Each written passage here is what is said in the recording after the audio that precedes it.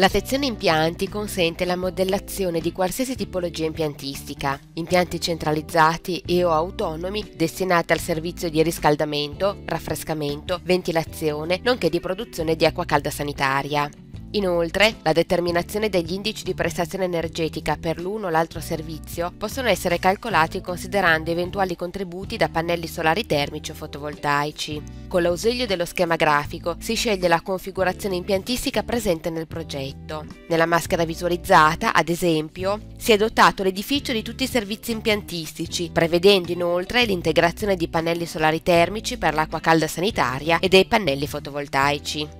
La configurazione scelta genera l'albero di navigazione visualizzato accanto alla barra dei comandi, facilitando così il successivo inserimento dei dati richiesti per la caratterizzazione dell'impianto. Selezionando il primo nodo relativo al servizio centralizzato di riscaldamento, acqua sanitaria e ventilazione, si accede alla scheda dati generali. In questa sezione è possibile inserire più circuiti con diversi terminali di emissione e diverse regolazioni, collegati alla stessa centrale termica. Ad esempio, l'unità destinata ad uffici potrà avere dei ventilconvettori, mentre gli appartamenti avranno dei radiatori. Selezionando il comando circuiti sarà possibile creare il numero di circuiti desiderati ed associarvi vari locali. In questa sezione occorre anche inserire la modalità di funzionamento del circuito, continuato, con spegnimento o attenuazione ed eventuali fattori correttivi proposti dalla normativa.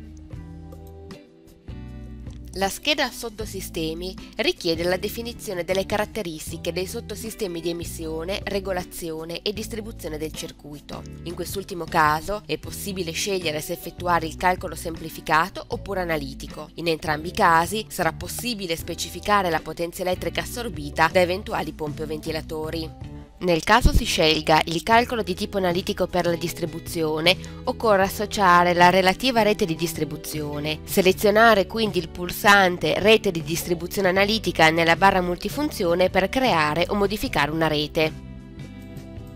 Nella maschera è possibile creare l'elenco di tubazioni che costituiscono la rete di distribuzione dei vari circuiti. Mediante gli appositi comandi è possibile inserire una nuova tubazione e duplicare o eliminare una tubazione esistente. Per ogni tubazione è necessario inserire i dati richiesti dalla norma UNITS 11300 parte seconda, ovvero diametro esterno e lunghezza, tipologia, ad esempio corrente in aria, tubazioni interrate incassate nella muratura, l'ubicazione e l'eventuale presenza di isolamento.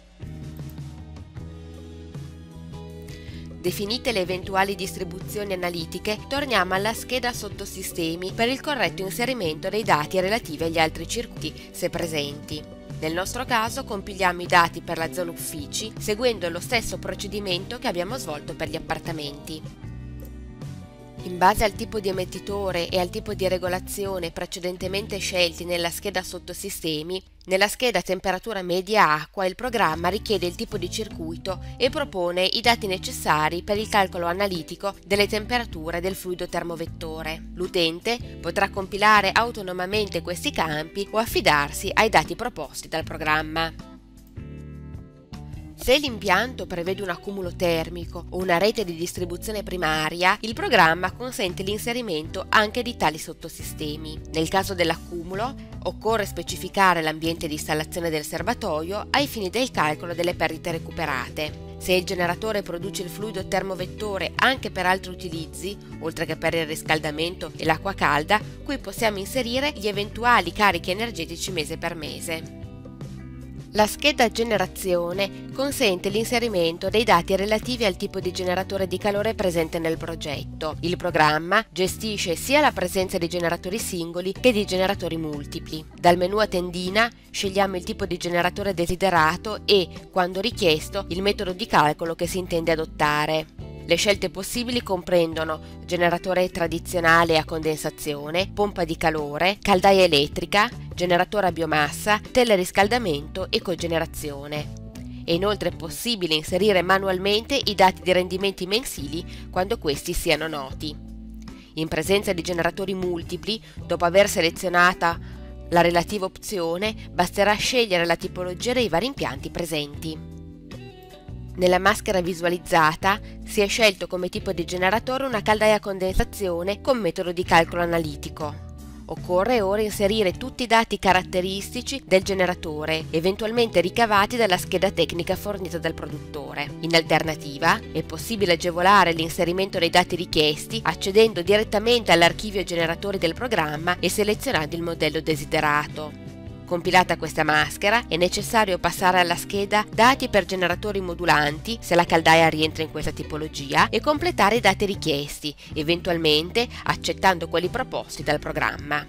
Infine, la scheda circuito in centrale permette tramite la casella combinata di definire i criteri di gestione delle temperature e la tipologia di collegamento idraulico tra la caldaia e il sistema di distribuzione. Terminato l'inserimento dei dati relativi al servizio di riscaldamento, selezionando il comando apposito, si passa al servizio di acqua calda sanitaria. Nella parte superiore della maschera si definisce il fabbisogno giornaliero di acqua calda sanitaria che dipende dalla categoria di utilizzo di ciascuna zona. Ad esempio, nel caso di abitazione ed uffici, esso dipende dalla superficie utile riscaldata. Terminano la compilazione della maschera, l'inserimento dei dati relativi al sottosistema di erogazione e di distribuzione. La scheda Altri dati prevede l'eventuale caratterizzazione di un accumulo centralizzato della rete di ricircolo e della rete di distribuzione primaria. Per questi ultimi due sottosistemi, la specifica tecnica UniTS 11300 parte seconda richiede un calcolo delle perdite di tipo analitico. Per questo motivo, mediante l'apposito menu, è possibile richiamare l'elenco delle reti di distribuzione precedentemente create abilitando il pulsante nella barra multifunzione. Infine, nella scheda Temperature acqua sanitaria vengono richiesti i dati necessari per determinare le condizioni di funzionamento del generatore di calore per la produzione di acqua sanitaria. Passando alla scheda ventilazione, dobbiamo innanzitutto compilare la scheda dati generali, scegliendo il tipo di impianto tra sola immissione, sola estrazione e ventilazione meccanica bilanciata. Più in basso, con l'aiuto delle caselle combinate, dobbiamo poi fornire i dati relativi alla permeabilità dell'involucro edilizio e alla presenza o meno di sistemi per la regolazione della ventilazione. Nella scheda portate il programma calcola automaticamente le portate d'aria nelle sole zone o locali per cui abbiamo a suo tempo indicato la presenza di ventilazione meccanica. Vediamo infatti che i locali presenti si riferiscono esclusivamente alla zona ufficio che è dotata di questo servizio. Le portate proposte possono essere modificate dall'utente che può altresì indicare la tipologia di ventilazione prevista per i singoli locali, scegliendo quanto proposto dal programma coerentemente con la tipologia di impianto prima definita. Nella scheda condotti, sotto la schematizzazione dell'impianto, vediamo altre schede. La scheda tratto ETA riguarda il condotto di estrazione per il quale dobbiamo inserire la temperatura di estrazione e la potenza elettrica del ventilatore, anche tramite una procedura guidata. Infine, è possibile inserire le informazioni necessarie al calcolo delle perdite termiche lungo le canalizzazioni. Gli stessi dati andranno inseriti nella scheda tratto SUP relativa al condotto di immissione. La scheda tratto ODA è attiva solo nel caso di presenza del recuperatore di calore e necessita di dati analoghi a quelli appena visti. Nella scheda Altri dati possiamo compilare i campi relativi all'eventuale presenza di umidificazione all'interno degli ambienti, scegliendo zona per zona tra umidificazione adiabatica o con immissione di vapore. Inoltre è possibile effettuare il calcolo analitico della rete di distribuzione primaria, selezionando una rete di distribuzione prima già definita.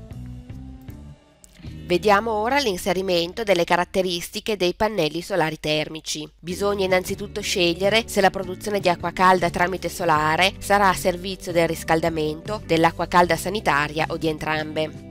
Se si dispone di EC712 solare termico, il calcolo di producibilità dei pannelli solari termici può essere effettuato in modo analitico, in conformità alla norma UNITS 11300 parte quarta e UNI-EN ISO 15316 parte quarta ed è integrato nel calcolo complessivo dell'edificio. Altrimenti, mettendo il check su dati noti e poi selezionando il simbolo dei pannelli solari sull'albero di navigazione, sarà sufficiente inserire manualmente le producibilità note o altrimenti calcolate. L'inserimento dei pannelli fotovoltaici è del tutto simile a quanto visto per i collettori solari.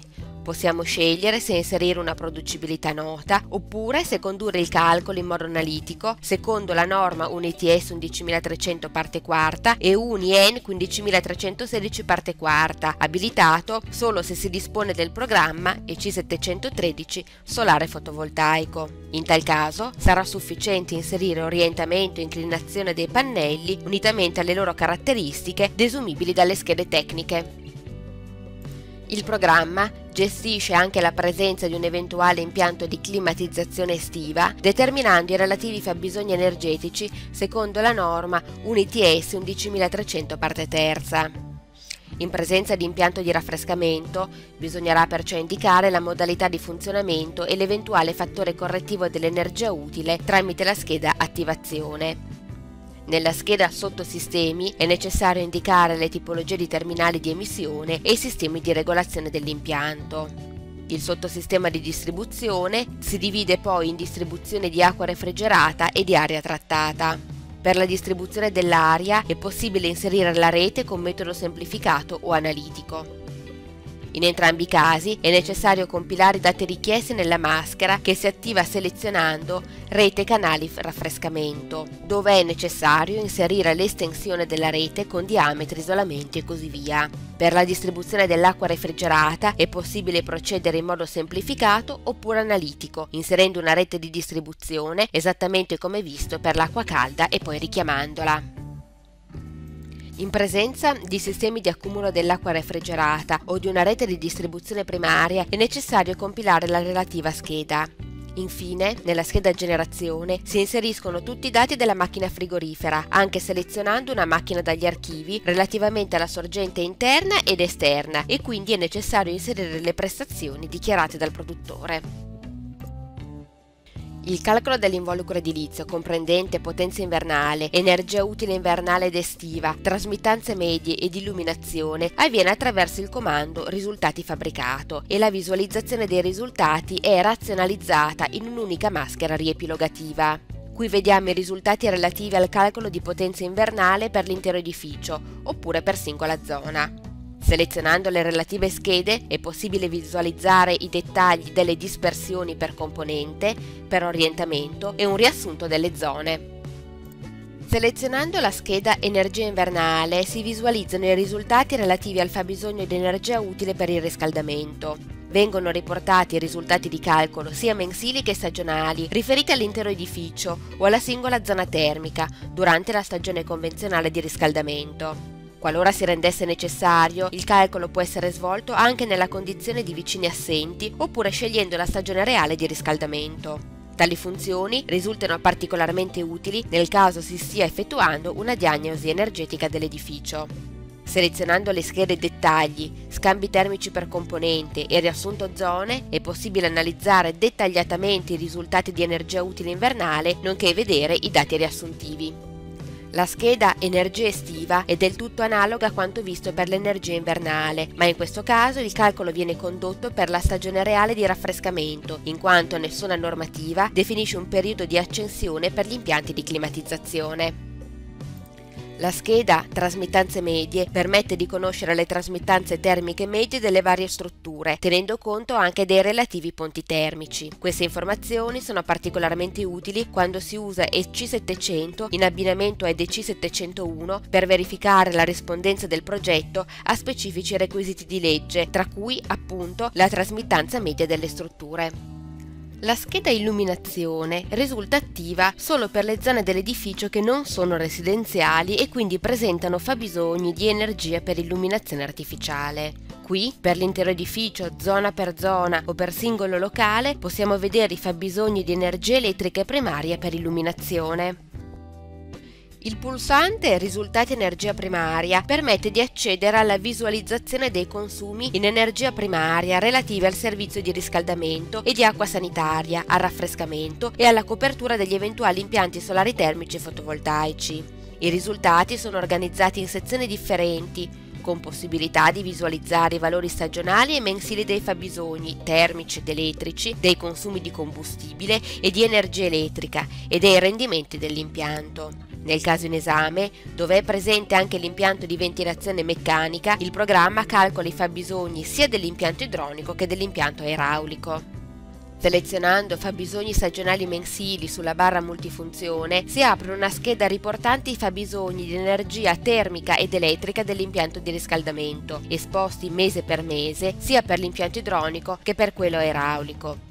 Selezionando Dettagli impianto sulla barra multifunzione si apre una scheda riportante i rendimenti mensili dei vari sottosistemi impiantistici delle due tipologie di impianti presenti. Tramite il comando temperature medie, il programma consente la visualizzazione delle temperature dell'acqua calcolate nelle varie sezioni dell'impianto e per i vari circuiti. I risultati di calcolo vengono presentati sia in forma grafica che tabellare. Il comando risultati per generatore permette di visualizzare i fabbisogni e le perdite di ogni singolo generatore evidenziando mese per mese rendimenti e consumi di combustibile. Il pulsante ripartizione carichi visualizza la ripartizione dei carichi di riscaldamento tra i vari generatori presenti nella centrale termica. Tramite il comando firma energetica è possibile visualizzare l'andamento della potenza termica media richiesta in funzione della temperatura media esterna. Dati analoghi, con le opportune modifiche caso per caso, vengono mostrati per acqua calda sanitaria e per il raffrescamento. Nelle schede solare termico e fotovoltaico è possibile visualizzare la producibilità dei pannelli, la copertura del fabbisogno di acqua calda sanitaria e di fabbisogno elettrico dei vari impianti presenti. EC700 è corredato da archivi di supporto esaurienti e costantemente aggiornati e aggiornabili anche a cura dell'utente. Vi sono inseriti tra gli altri materiali edili, generatori e pompe di calore, tubazioni, collettori solari e fotovoltaici, nonché strutture edilizie. L'utente può utilizzare elementi presenti in archivio oppure inserirne di propri.